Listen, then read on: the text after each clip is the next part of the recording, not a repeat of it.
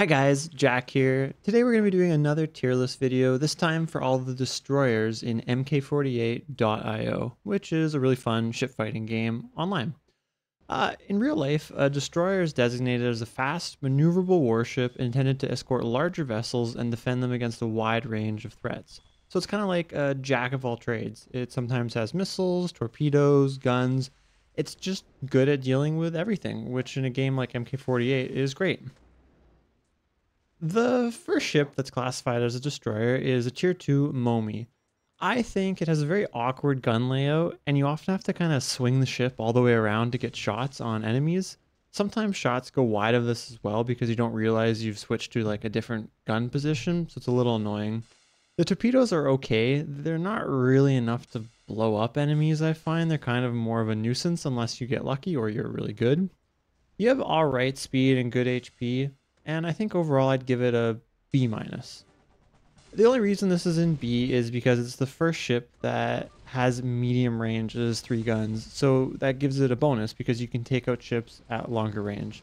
If you play it well, you can take out the other tier 2 ships pretty easily, and sometimes a tier 3 if you get lucky, but at the same time you're kind of an easy target.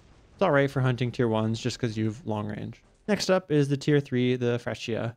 Its gun layout is a bit better. You have to be broadside to uh, to hit all the shots, but at least you can, unlike the Momi where you kind of need to like almost zigzag around to get your guns where you want them to.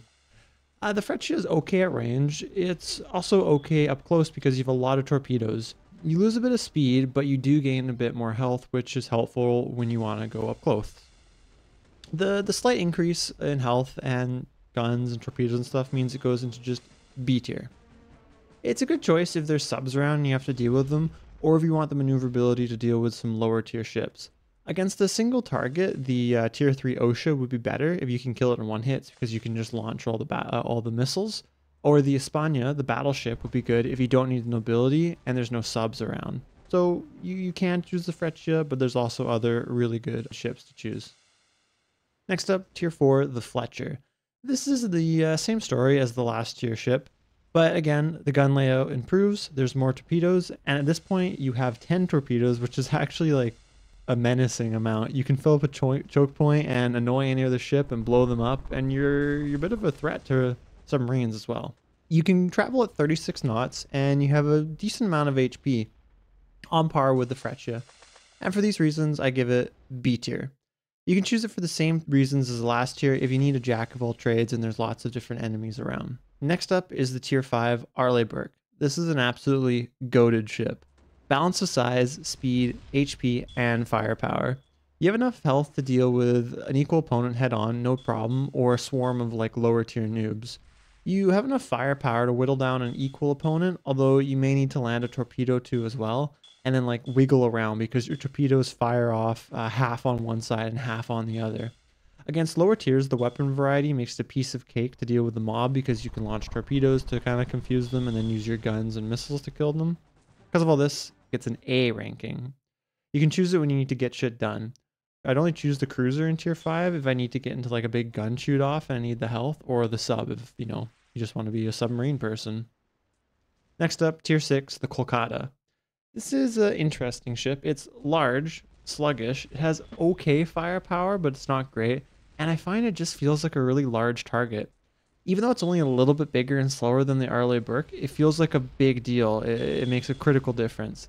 It has the same surface to air missiles as the tier 5, but at tier 6 and with less maneuverability and not very much more health, I feel like it's quite a bit weaker and it's not what you need. The torpedoes are too slow and I think they're kind of bad to be honest. Subs aren't scared of them. The missiles are alright and at this point, one cannon just in the front of the ship, I don't think accomplishes much. Because of this, it gets a C ranking. Honestly, I'm not sure that I'd ever choose this. I might have been too harsh on the Freedom Missile Cruiser in the last video, as I think it's actually a better rounded ship. But at tier 6, I often choose the aircraft carrier, unless I'm really in the thick of it and need something that can shoot guns and have more health. Up next, tier 7, Type 55. Still large and sluggish like the Kolkata, but it actually has good firepower and a bit more flexibility.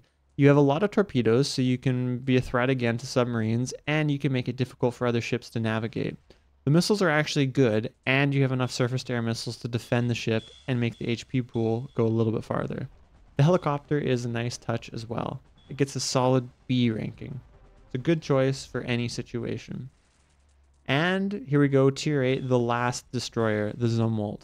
It has the same issue as the last two, the tier 6 and tier 7, but the speed is more comparable to ships in tier 8, 28 to 35 knots, so that's okay. The best part about this ship is the LR LAP gun. It is amazing. It has really good damage, really good reload, and it goes so far so fast. You can abuse this gun with just a few missiles and you can shred anything that's a tier below you. Add in some rocket torpedoes in the heli and you can easily take on any tier ship that's the same as you you um, you have enough SAMs to deal with aircraft carriers and defend. Although in a prolonged firefight, I find you'll run out just because the surface air missiles have a lengthy reload, unless you're always picking up oil crates to reload that.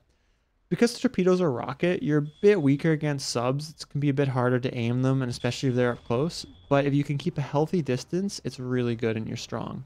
A ranking. This ship is always a solid choice if you don't want to take the Kirov.